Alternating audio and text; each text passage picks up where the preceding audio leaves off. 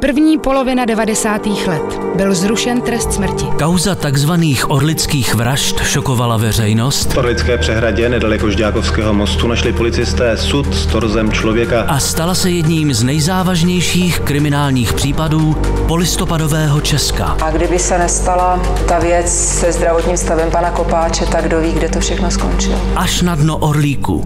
V pondělí ve 20.30 na CS Mystery.